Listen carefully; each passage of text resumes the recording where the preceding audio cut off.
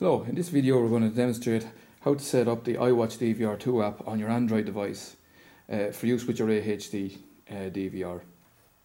So first we start up the app by clicking on the icon and we're immediately brought into the DVR configuration screen where we add new DVRs or um, reconfigure existing ones. So we're going to add a new DVR in this instance so we're going to click on the new button up on the top right hand corner like so. We then have to enter in the various settings. So first off, we start with the name box. We click on the name box and bring up the text. So we're just going to call this DVR simply. Uh, then we'll host. If we had this configured for external um, uh, access on our network, we would use the static IP address of our router. But in this case, we're not. We're going to have it on a local Wi-Fi um, on our AHD DVR. So we're just going to enter in our IP address. So on our IP address in this instance is 192.168 dot one. Five zero.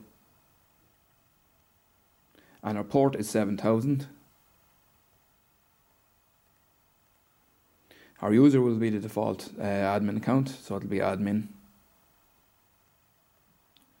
And our password will be 123456 it's the default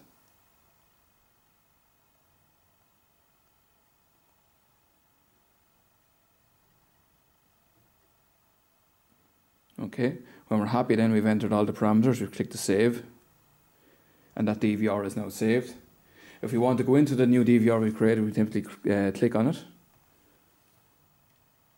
We give it a few seconds, it should go onto the network then and as you can see here, we can see our DVR. The DVR in question is set up in one of our training facilities. So if we click on the four channel view, see it's a four channel DVR and we can see the cameras in there like so.